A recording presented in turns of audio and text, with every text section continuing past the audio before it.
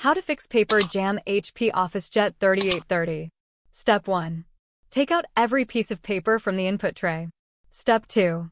Lift the input tray cover, check for stuck paper, and take it out if you see any. Step 3. Drawer fronts open and closed, input tray lowered. Step 4. In the output tray area, check for any jammed paper and remove it if you find any. Step 5. Take the printer's power cable out while it's turned on. Step 6. Remove the power line from the wall outlet at this point. Step 7.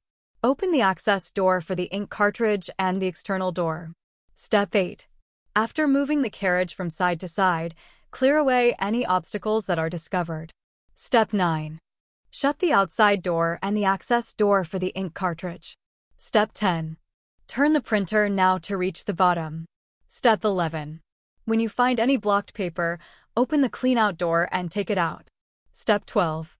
After turning the printer to the upright position, close the cleanout door. Step 13.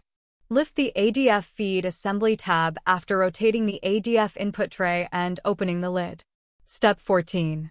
Next, take out any paper that is jammed. Step 15.